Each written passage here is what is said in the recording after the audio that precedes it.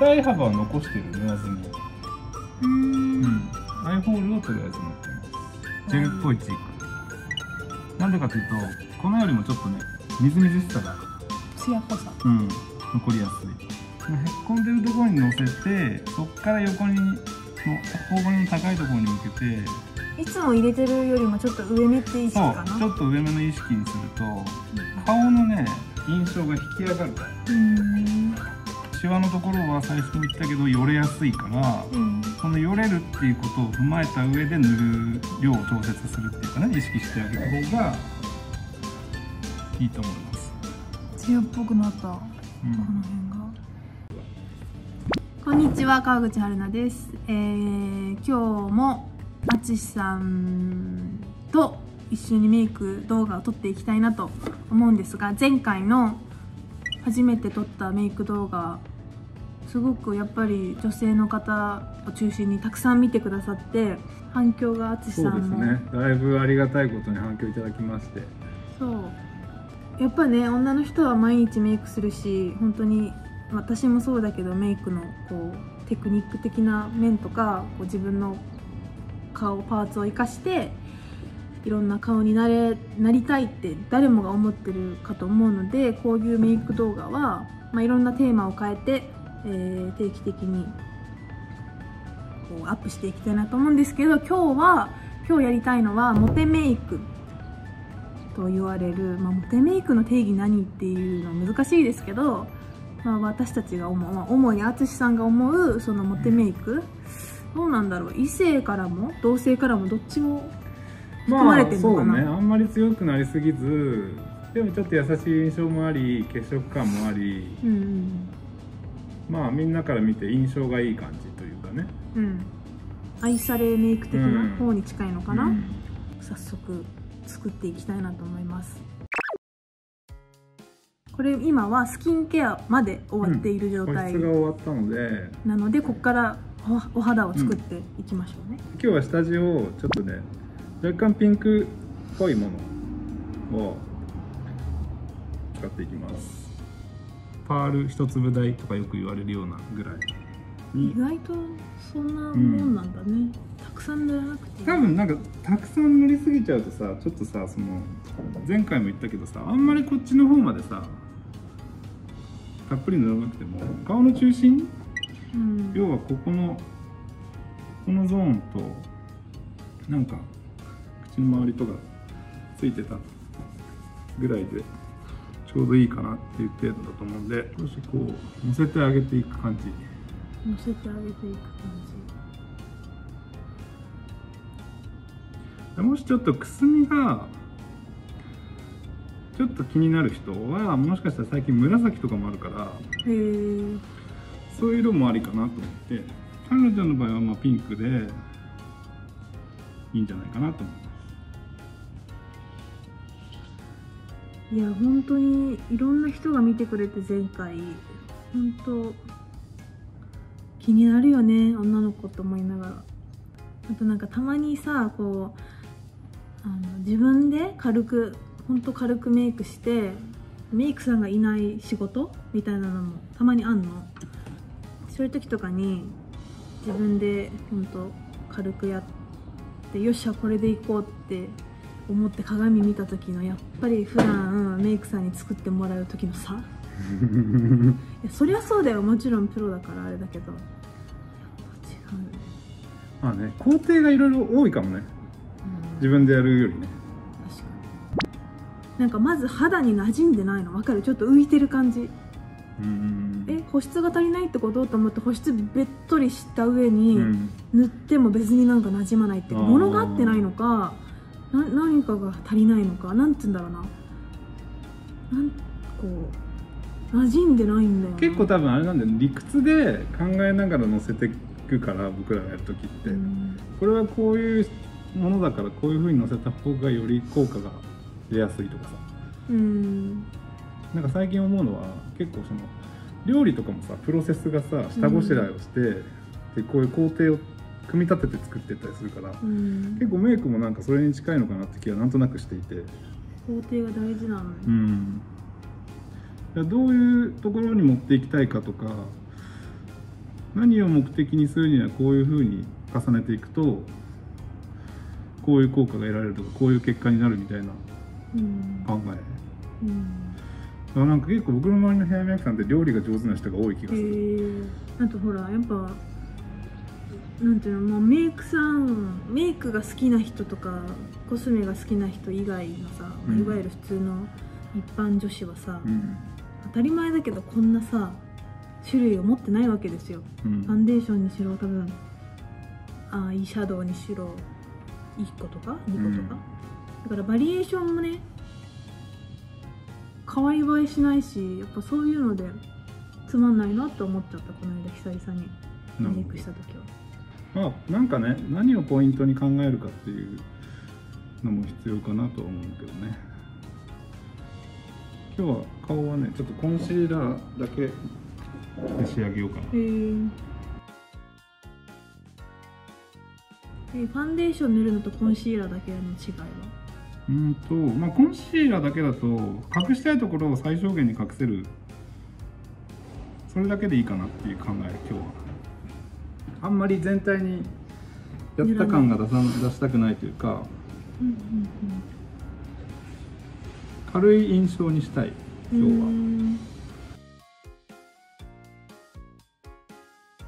やっぱどうしてもなんかベースをいっぱい塗れば塗るほどちょっと若干雰囲気も上目になりがち。うん年齢的なうん感じの、そうね。で結構あれじゃない？自分でやる時にさっきも言ったけど工程がさうん。少ない方が時短とかっていう方結構みんな意識するじゃない？そうね。で今日はちょっとそこも踏まえてなるべくシンプルに。うん。まあだから今日もちょっと目の上はやっぱりねあんまりしっかりカバーしなくて。う,、前回も言ってましたけどくすみ生かしじゃないけど、ん隠しすぎない？そう。そうするとその分無駄なアイシャドウを塗る工程も減るっていう。うん。なのでまあ鼻の周りと目の下のちょっとクマっぽい印象と鼻の周りの赤みと口の周りのちょっとくすみが大体みんなちょっと比較的気になりやすいポイントだと思うのでそこをちょっと中心的に今日はコンシーラーで簡単に隠しまあこんなぐらいかなって感じですベースは。いやでも全然やっぱ違うよね。パウダーをで筆で軽くちょっとツヤが出るタイプのパウダー。パウダーもさパフでのせる人もいればさ、そうだね。筆の人もいるじゃんそれの違いは何？やっぱりパフで乗せた方がたっぷり乗ってしまう印象かな。なるほどね、うん。こっちの方が軽くなじむ軽くうんうんうん。筆がおすすめですねじゃあね。おすすめですね。しかもちょっとこう大きめの筆でやった方がうん。そのほちっちゃい筆とかだとやっぱどうしても何回も細いのいっぱい線描かなきゃいけないし、うん。大きい方が広い範囲でバーってふんわり置けるから無駄になりにくいっていうのもあるかもしれない目の周りはちょっとちっちゃい筆だけどまあ同じものでパウダーはね、うん、結構この辺ねちゃんとやっておかないとねよれたりしやすくなるかもそうだパウダーの工程がまずないわ、うん、ただパウダーもね本当ものによるからそこのチョイスも結構大事だけどね。蓋するイメージだよねそのファンデとかそうねやっぱりうん、特に皮膚が動く目の周りとか口の周りってやっぱその肌同士がこう重なり合ってシワのなるところうん。がくっついたらよれちゃうからそれを防ぐためにもちょっとだけパウダー乗せといてあげるとよれにくい、うん。パウダー5うん、です。むずいよなメイクって。なんかなパウダーはねなんかねこんな感じの？どれ？あ光ってる感じ。ちょっとちょっと光るんだよね。ーうん。でもそれがなんかこうトゥーマッチではない。シェーディング。出た。シェーディングもやらないです自分じゃ シェーディングは前回はちょっとファンデーショこンでやったんだよね。暗めのファンデーションを使ったんですけどうん。今日はよりやりやすい感じでと思って。パウダーチークでいいと思う。ちょっとオレンジっぽいチークでこのこの辺から頬骨にかけてくの字く。の字っぽく入れる。これもねちょっと大きめの筆の方がね失敗しないと思うしかもちょっとこう角度がついてるとやりやすいんだよね。確かに、うん。えーそういうそれ用の筆ってこと？まあ比較的シェーディング用ってこういうのが多いかもしれない。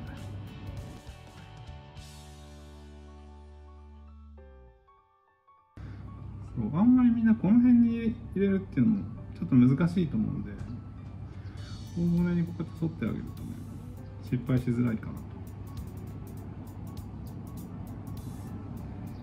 とはい今大骨右側うん違ううんもうねどうしてもやっぱこの映像だけじゃあれですけど全然やっぱシュッとするというか、うんナチュラルにシュッとするイメージうんでこれをしてあげることによってチークのわざとらしさも防げるとうん結構重要なポイント重要かもねで最後ちょっとだけ下にも残りをこう数字の最後3になるみたいな、うん。こうこう。ん、でも割とやっぱこっちの最初のくの字の方が重要かな。う、うん、で最後おまけでこっちに入れるぐらいにして、うん。やってあげるといいかな立体的になるねやっぱり。そうだね立体的になるかもね。両方やっとこうかな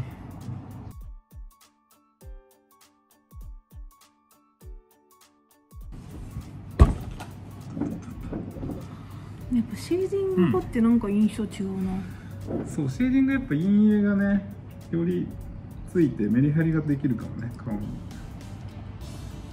うん。はい。ここのうん。この辺ね。確かに。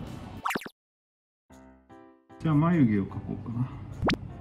眉毛ってみんな悩んでいるよね。悩んでるよね。一回溶かす。これ大事ですしましょうコームでそう大体みんな毛がねこうこういう風に生えてくるじゃんうんうんでだんだん目お尻に向かってこっちに下がってきてる生え方ってこっち側にでそれをちょっと溶かしてあげることにちょっと上に向けてあげてでどこが足りないかっていうのをまず見極めて描きすぎないようにしたいですね今日はちょっとね眉毛もね色味をちょっと効かせていこうかなと。もともと結構毛がしっかりあるタイプなのでうん。あんまりそのもともと持っているラインを変えないでちょっと隙間に色が埋まっていくだけで色の印象が出てくるので今日はちょっと赤レッブラウンレッドレッドブラウンみたいなね、珍しい色。うん、でも最近結構やっぱ赤っぽいメイク流行ってるじゃない。う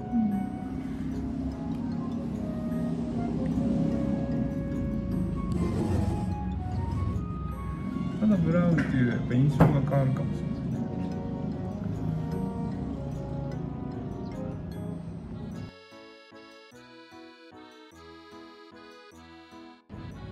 構最近みんなさこの上のさここをさちょっと反ったりさ抜いたりしてさちょっと下に平行眉とかうん。さ下げた眉流行ってるじゃないですか。そうなんだ。うん。あれもなんか一概にそれでいいのかっていうのはちょっと疑問に思っていて僕は、うん。え流行りの傾向にあるそう流行りの傾向にあるから。特にあの、山がないって感じ？うん、少し下がってる印象ハの字というか極端に言うと。それはねちょっとね人によってはやめた方がいいなって僕は思っていて。まあいじらないのがいいってことだね。意外となんか眉毛下げてんのにそういう人に限って垂れ目を気にしてたりとかさ、うん。逆にそれがそう見えちゃうよとかもあるからね。もうこの間も言ったけど眉毛はもう抜かないでまりその人がそもそも持ってる眉毛の形もあるのか。そうなんだよね。ななんかその極端に大きく形を変えることはあんまりおすすめできないけど。うん。まずだから生やした状態で整えてみていらないとこってそんなにないと思うんだ、うん。よっぽどこのまぶたの上ぐらいまでバーって生えてるのが気になる人は抜いたりしてもいいけど。なんかさでもさボサ眉っていうのかな。なんかさ、それこそこの、ま、眉毛の下らへんうん。に、なんていうの？ちょっとこうバーって生えているうん。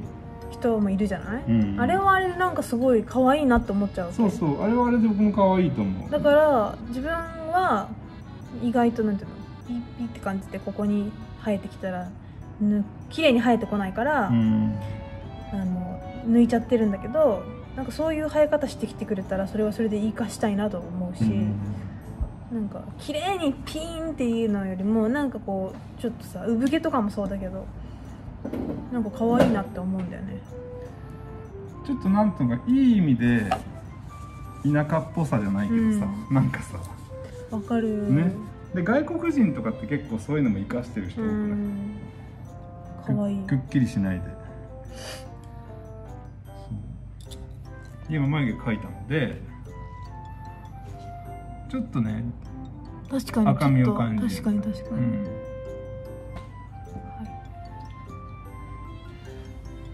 ここでちょっとマスカラで。それクリア？マクリア。スカラもいいよね。ちょっとこう濡れ感が出るというか。そうそうそう。そうなの。本当それ濡れ感が大事よ毛毛の流れに沿って自然に？構ちょっとね逆らってもいいと思あうー上に上に。うん。ここここさここの目,、目頭っていうの、うん、眉頭。眉頭。うん。こそう内うこうやっ側にねてやると可愛い、うん。立ってる感じ。そうそうそう。これも流行りなのかな？今の。まあそうね。10年後とかになったら流行りって思うんじゃない？多分。あの時こうだったよね みたいな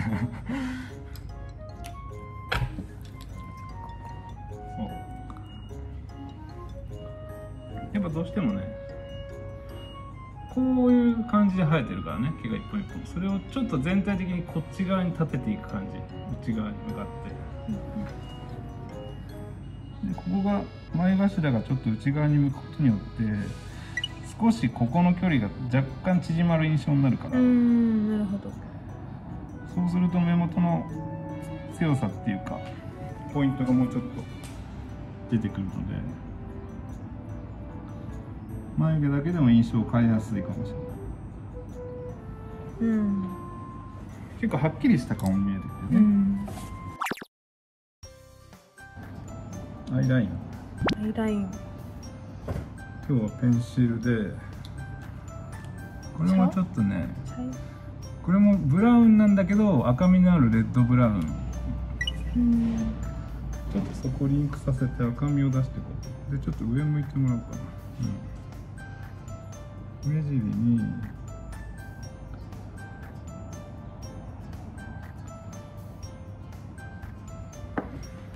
あ可愛い、うん。上向いて目尻にこう目尻だけ引く感じ？そう目の丸みがあってその延長線上を意識して極端に跳ね上げたりっていうよりはこうまっすぐまっすぐ向いた時にさほら目の延長線上がちょっと横に延長されてる感じ？ぐらいにするとと引きすぎず、うん、うん、そうするとちょうどいいかもしれないじゃあその二重の少しね目をこっち側にあで顔もそっち側にそうそうそうちょっと節目とかになるあそうそうこのぐらい二重幅をあん。まり潰さない程度に目尻だけ、うか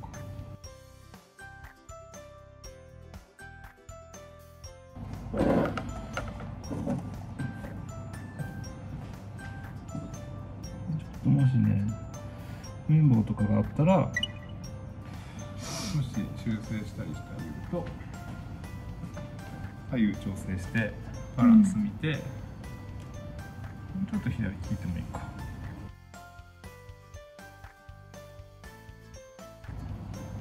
うん。かわいい。いつもと違う感じ。ね次はアイシャドウをつけてきます。アイシャドウはさっきのアイラインに対してこれねちょっとオレンジですね。うん。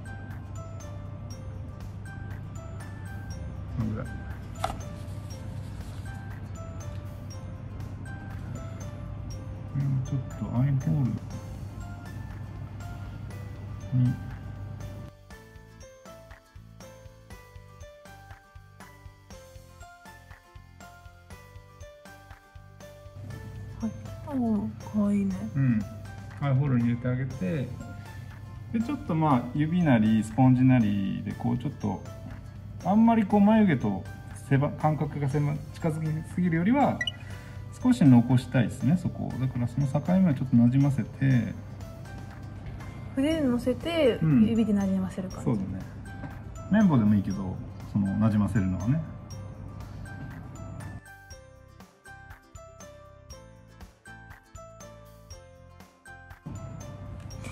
かわいいね。色が。またいい色、なんかブラウンよりもやっぱちょっとこれオレンジでもブラウン寄りっていうかなんていうのくすんだ鮮やかすぎないオレンジだからうんそれもまたいいのっていうところがあって。でこの時にはね二重幅は残してる塗らずに、うーん。アイホールをとりあえず塗ってます。二重幅はね後でちょっと別の色を少しのせていこうと思ってるので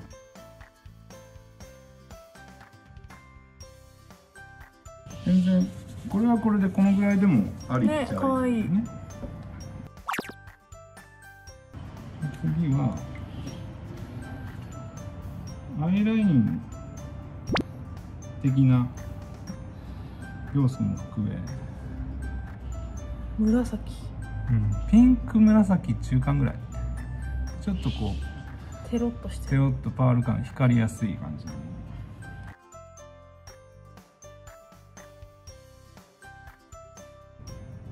最初に引いたアイラインは生かしたいので。そこまで、うんしっかり塗ってみる？もうかわいいでちょっと節目にしてもいいかもまた。うんうん。顔ちょっと左に振ってみる。あそう今細く細めに描いたんですけどもうちょっと太くてもいいからね。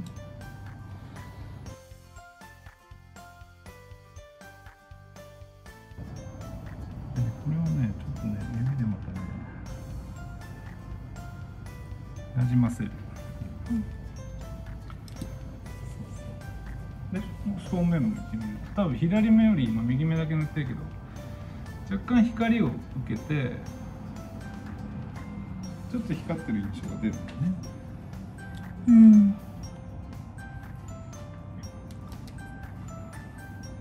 少し引き締まる感じでツヤも出る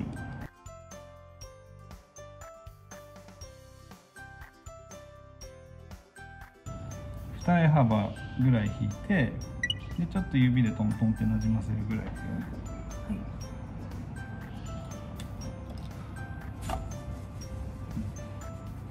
い。なんだろうアイシャドウっぽい。うん。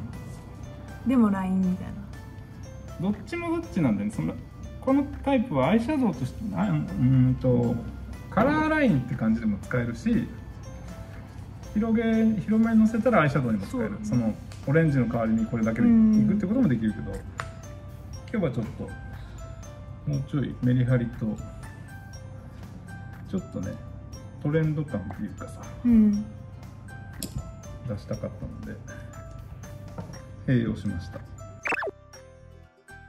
さっき使ったオレンジをオレンジ。一回目の下にも入れたくて上向いて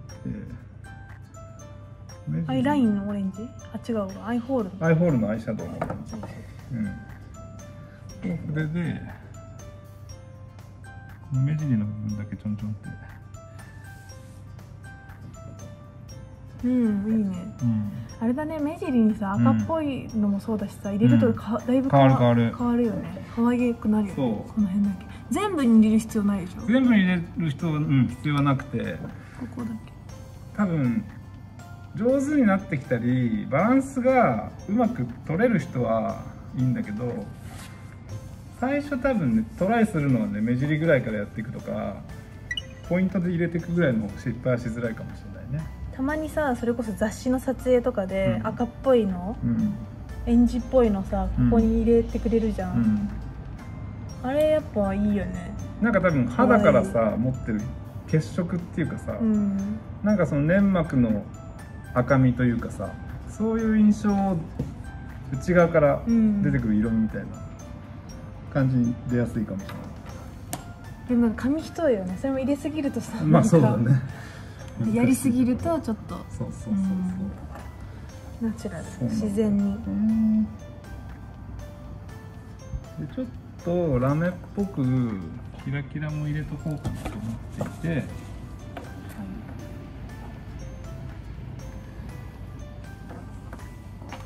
うん。感じるここう。んちょっとね粉のラメ。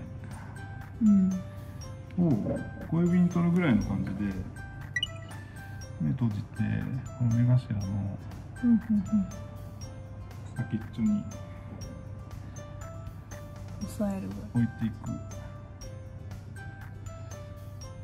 その時にまあ目頭の上と下にちょうどまたがるぐらいな感じで塗ってあげる乗せてあげるとはい。うん。キラキラ。ちょっといいかもね。そうそうそう。プラスちょっとねじゃあこの横向いてみて。ここ。鼻？ここそうそこもおまけでつけてあげるぐらい。するとあ今これ。そう光ってるじゃん、うん。ないのとこっち。まあす自然にも光ってはいるんだけど少しそこにポイント光ると確かなんかより鼻の鼻筋の立体感ってにいうか、うん。なんか不思議と奥行きみたいなものを感じやすくなるっていうか、確かに。うん、ちょっと鼻高く見える。そうでしょでそれもちょっと最後ねここは乗せすぎ注意なので少し綿棒でねなんかなじませてあげるとうんうんうんトゥーマッチにならない too much. No too much. と思う No too much. Natural.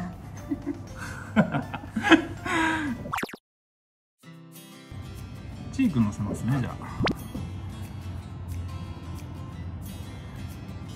オレンジっぽい、オレンジっぽい。これちょっと今日クリームっぽいはいはいはいジェルっぽいチークなんでかっていうと粉よりもちょっとねみずみずしさが、ツヤっぽさ。うん、残りやすい。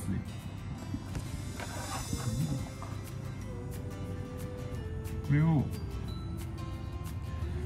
この辺を基準になんかみんな大体この辺から乗せやすいんだけど、うん。見って笑うじゃん笑った時に乗せるじゃんここに。そうするとさ笑い終わるとさ下がるんだよねこうやってやってるわいつもそう。ちょっとここの大体みんなへっこんでるからここが。ここですってここじゃなくて、そのへっこんでるところに乗せてそっから横にの頬骨の高いところに向けて。いつも入れてるよりもちょっと上目って意識そうかなちょっと上目の意識にすると顔のね印象が引き上がるからうーん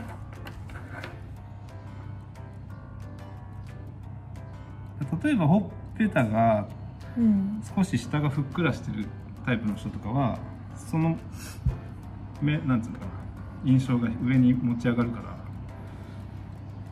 そういう効果も得られるし大体どの人にもちょっとこれは当てはまりやすいうかな、逆に年齢いってる人ってどんどんどんどんここがへっこんで張りがなくなってくるから。手でのせるまあクリーム状だったら手でもいいしスポンジでちょっと薄く重ねていくっていうのもありですよ。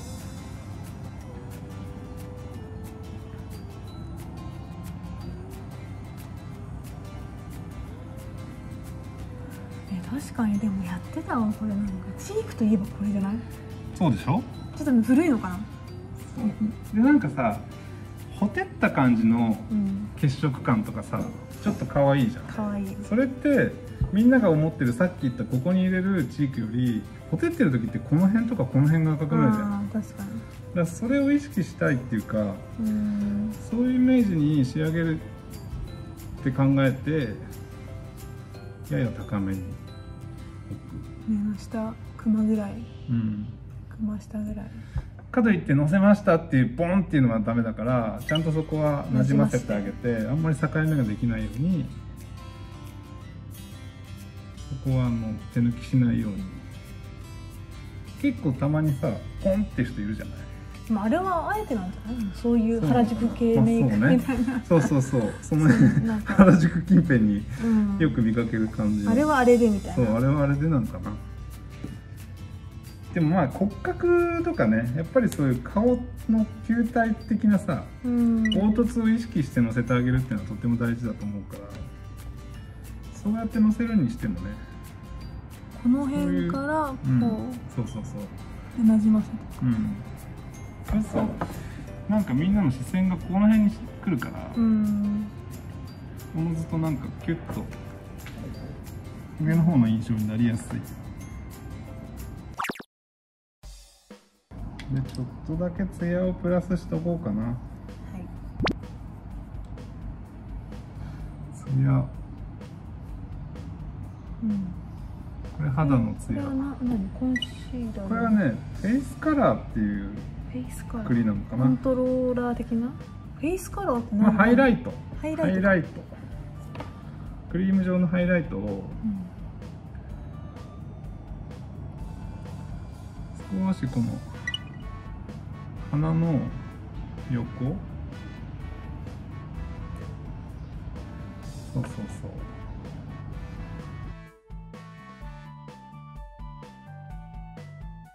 チークにかぶるぐらい、そうチークのちょっと上からチークにかぶるぐらい。うんでこの頬骨の高いところにもちょっと乗っけるってあげるぐらいにするとほ確かにちょっとテロンテロンっていうテロンって出るるでしょ。本当だねまだ左ついてないけど右はだいぶテロンとしてるでしょ。うん。でなんか若い人はもちろんそうだしちょっと年齢とともに小じわが気になってきた人とかもうん。こういう目尻とかこの辺も乗せてあげた方がシワがちょっと印象的には和らぐかもしれない。光の効果でただ気をつけなきゃいけないのはシワのところは最初も言ったけどよれやすいから、うんそのよれるっていうことを踏まえた上で塗る量を調節するっていうかね意識してあげた方がいいと思います、ツヤっぽくなったこうん。の辺が。そう。でやっぱその顔動かした時にさどこかが光ってたいから、うん。一箇所にのせるっていうよりはちょっと広範囲に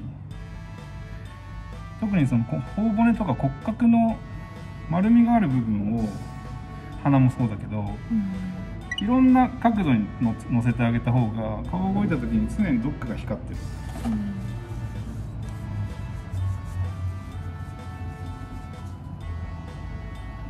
ん。ね。前回も言ったかな？あと顎もちょっとね。あうん塗ってたかも、うん。この辺だけ少しでいいと思いますけど。鼻も最近ちょっと先っちょだけつけてもいいか。じゃあビューラータイムいきますか。ビューラーはどんな感じでしょうね。でもなんかあんまりがっつり上げなくてもいいよね。確かにちょっと。自分でやる？うん。基本的に、うん。やっぱ春菜も前回も言ったかもだけど気をつけてることは上げすぎないこと。うん。軽くそうね。ナチュラルな印象で。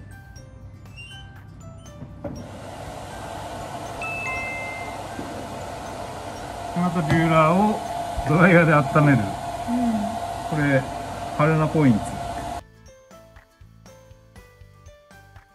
本当女子あるあるだと思うんだけど、うん、わ分かっちゃいるんだけどどうしてもあげちゃうんです、ね、そうだよね。とどめたいんだけどあげちゃう人とかいると思うんだけどあんまりそういう時はあれじゃない？このここでググググってやるよりちょっと前に持っていきながらやったらいいじゃない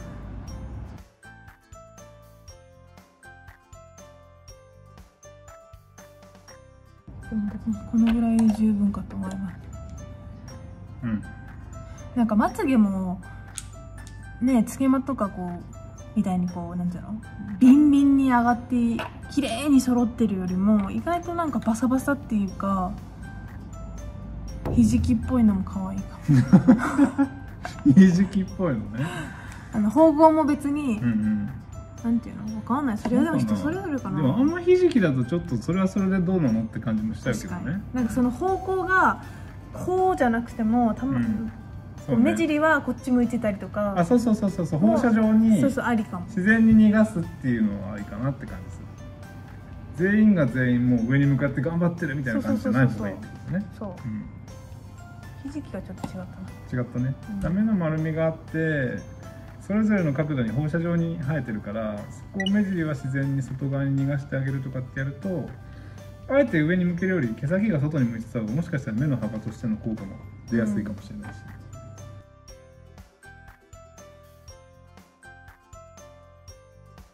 わかるんだよ。あげたくなんだよねもう一回やっとこうかな？でもやめとこうかなって今ぐらい横向くとどのぐらい上がったか分かるよ。あそうそうそう。あもうちょい戻ってきてゆっくり。あそうそうそう。でちょっと下の節目？あそう。そういう感じこんな感じで見えてる？うん。うんうん。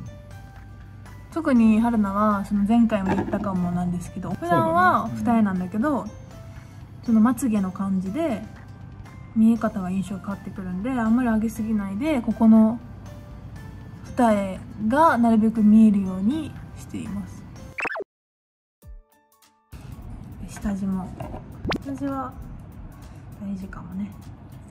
そうだね。やっぱり下地でカールの持ちが変わったりとかするかもね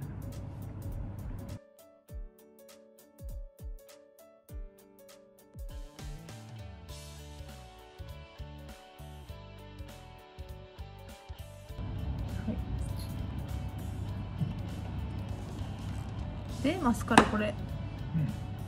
今日はじゃあカラーマスカラ。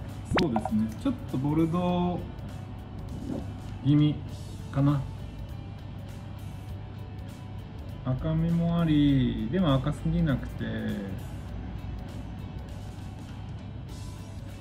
なんかやっぱり黒ってちょっと思う？黒って感じになるじゃん。うん眉毛も少し赤みを入れてるしまつげもちょっと目元も全部今日は赤みを意識してっていうかちょっと方向性を統一して。そうするとねなんか少し垢抜けた印象になりやすいと思うんですよ、普段ずっと黒の人がたまにさ茶色とかカラカラーマスカラするの？はやっぱ印象全然違う。違うよね。でも茶黒じゃなかったら茶色かなって思うけど茶色って意外と難しくて。うん。茶色にした瞬間なんか弱すぎちゃったりとか、うん。なんかちょっとそう逆になんか顔になんか茶色が急に入ってくるとなんか違和感が出てきて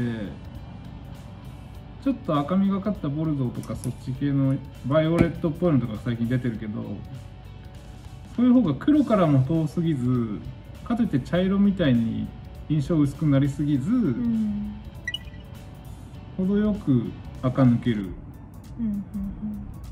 印象が出しやすいかなって気がする。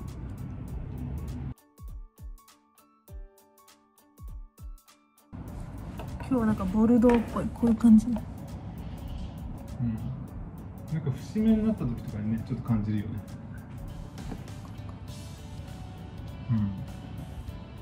ホットビューラーであげます。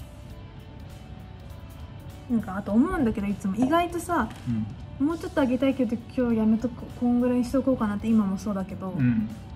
でもやっぱ下地とマスカラのせると上がってるように見えるの意外とまあそうだね。マスカラ乗せると存在感がアップするね、そうそうそう。だから意外とやっぱいいのかもほんと。ちょっとで。うん。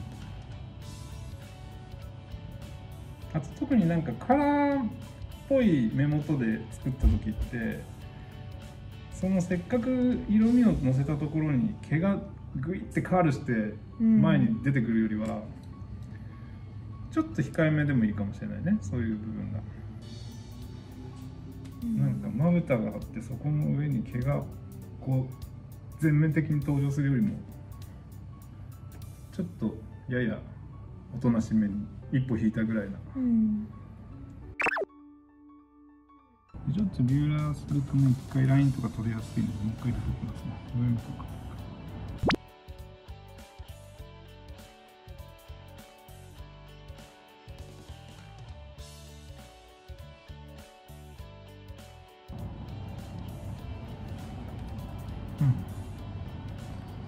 かわい。いだいぶ。結構ビューラーに残って色持ってかれちゃうので最後もう一回足すのはうん。ありかと思いますよ。リップをどうしようかなってとこで今ねうん。考えが2つあってうん。リップ。アイホールにオレンジのせてるじゃない、うん。でチークもちょっとオレンジっぽいじゃない？うんだからリップもオレンジっぽくしても合うと思う。うん。でもあの二重幅のところにちょっとパープルっぽいピンクっぽいやつ、ちょっと青みがかった色をのせてるからそっちでもい青いみがかったピンクも合うと思う。どっちも可愛いかもね。そう。両方やってみる？ね。うん。なんか極端にそこの色味のが離れすぎない方がうん似合いやすいからバランス的にね。顔に入ってる色でうん。なるべく抑えたい感じ？そうね。あと今日はまあ偶然僕たち2人とも白 T だったけどそこに例えば色味が洋服の中にちょっと紫っぽい青みがかった色が入ってたりしたらそこの色に合わせて青みがかったピンクのせるのもいいしね服とかうん。アイシ使ったアイシャドウとかに合わせてそうだね。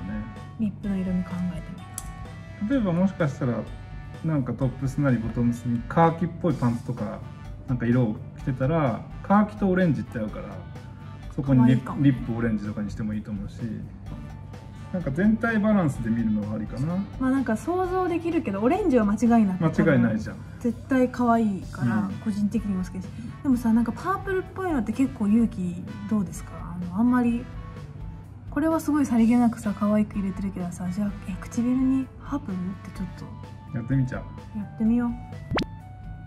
自分じゃ挑戦しない色かもしれない。ねみんなパープルって言ってもよ。言ってもこんぐらい。赤赤うん赤パープル、そうだね。赤紫。赤紫ボルドーみたいなさそのそれもちょっとまつげとリンクする部分はあるかもしれないね。リップのツヤは一回取ってからのせた方がいいかな。今この塗ろうとしてるのはまあまあねツヤ強っぽいから艶っぽいから取ってもいいと思う。でもこれをマットな色のせるときは逆にちょっと保湿した上にやった方がいいと思う。OK じゃあパープルから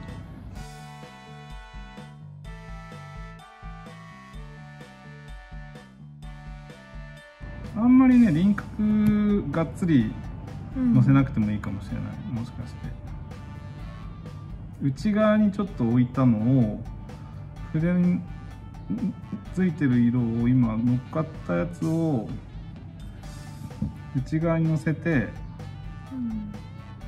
最後ちょっとずつ外側に広げてって輪郭広げていくって感じ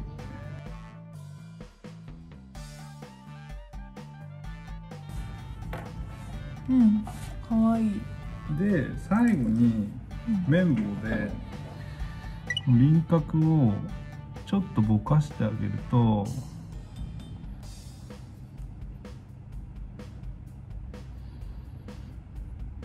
これまたねやりすぎ感が少し減るので。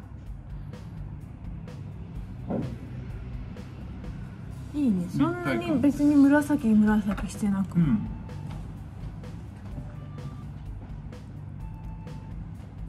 顔色よくうん。でもしそのちょっと強いかなって思う人はここから一回テティッシュオフ。ィッシュオフ。これ結構プレミアだね。こちらを1名の方にプレゼントいたします。いらねえって。これが紫。でも紫ってるよねなんかこう。ん。ううんいい色ちょっといい意味でそのモテメイクっていうのはさちょっと色気もあり、うん。でなんか可愛さもあり、うん。ちょっと垢ぬ垢抜けた印象もありで艶っぽくもあり多分女子も男子もうん。結構どっちもいけるつ疲れるんじゃないかなっていうかさ。うん。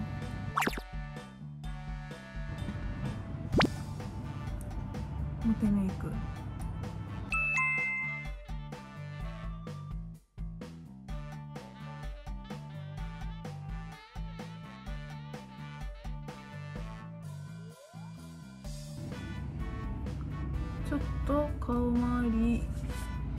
とかウエットっぽいやつでうん。濡れた印象。あんまり地肌べっとりよりね毛先特にこれもみあげらへんとかさ感じやすいからさ、うん。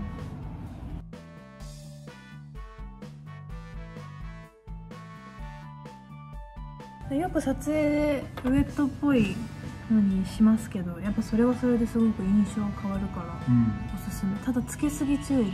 そうだね。地肌とかからつけちゃうとちょっとあのね清潔感がうん。でない感じそうむずいよね。うん。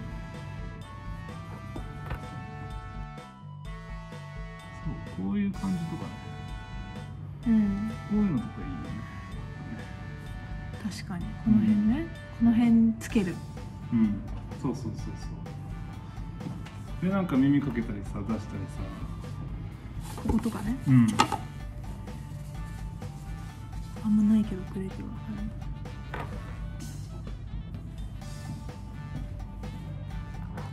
こんな感じ。完成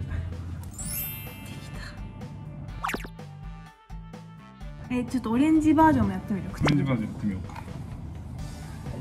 じゃあ。れかもねこっちの方が多分異性受けかもね。色的に。どうだろう口。うんあ色っぽくなる。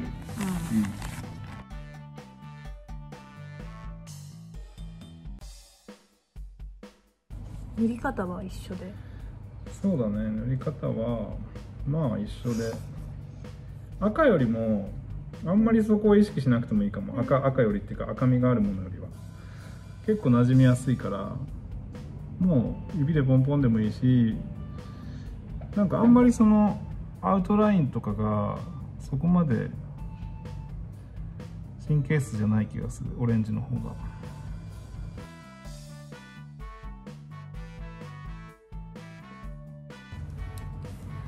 やっぱオレンジ可愛いな。でもう一回これをやっぱティッシュオフしてみようか。はい。ティッシュはこちらを抽選で1名の方にプレゼントいたします。ハーチャンネルまで用意しないです。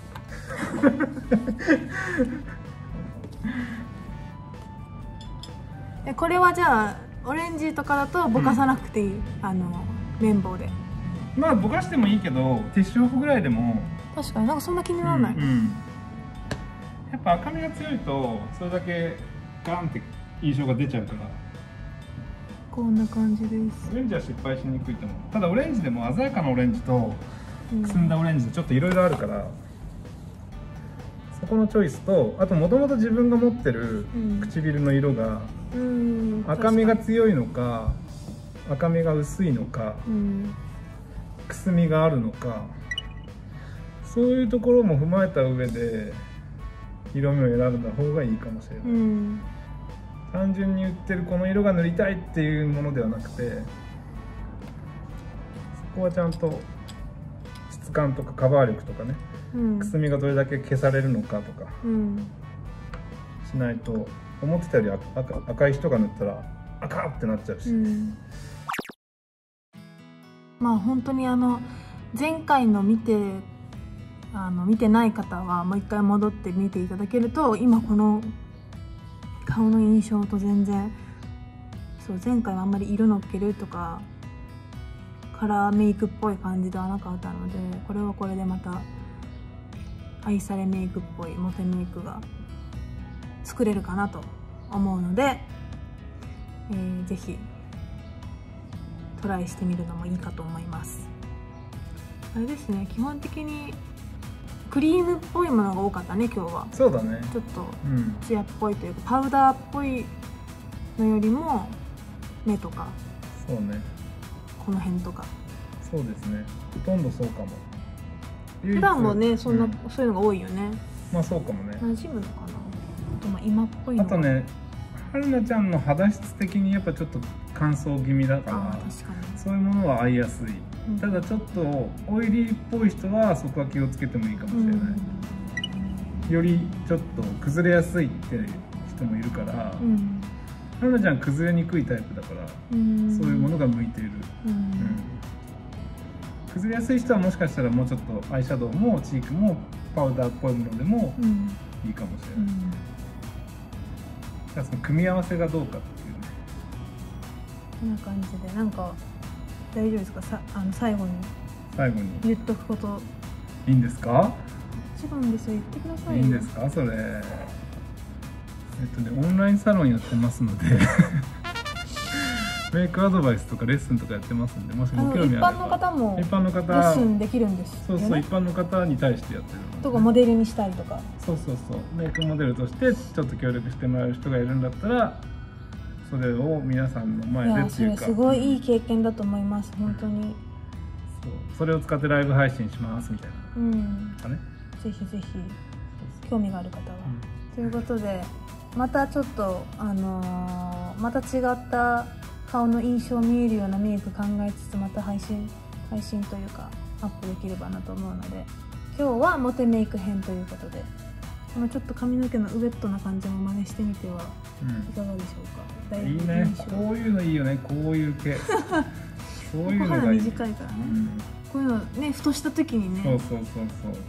顔周りのやっぱりちょっとした奥なんか毛って大事、うん。大事ってかいいよね。いいよね、ということで、えー高評価高評価っていうの？いいね押してください。ありがとうございました。ありがとうございました。